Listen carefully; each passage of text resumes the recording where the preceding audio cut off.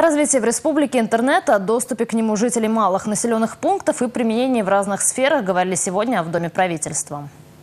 Глава Чувашии поблагодарил директора макрорегионального филиала «Волга» ПАО «Ростелеком» за успешную реализацию в республике госпрограммы устранения цифрового неравенства. В 2016 году построено 66 точек широкополосного доступа. На этот год запланировано строительство еще 11 в Цивильском и 32 в Чебоксарском районе. Десятки тысяч людей получают широкополосный теперь интернет, связь устойчивую, качественную. Из-за того, что мы получаем максимально конструктивное сотрудничество по земле, угу. когда нам помогают органы местной власти, мы строим очень быстро. Это Поэтому по согласительным процедурам? Это по, ну, согласительные процедуры, там, помощь в том, чтобы документы двигались быстрее.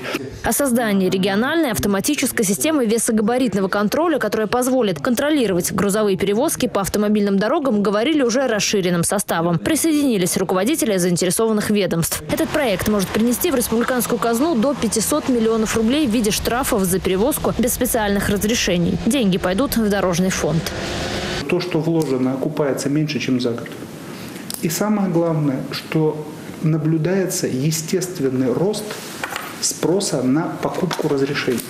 Министр транспорта отметил, в регионе уже прорабатываются три площадки для стационарных постов. Еще одно направление сотрудничества – сфера ЖКХ. Например, внедрение системы беспроводного получения данных со счетчиков в жилых домах.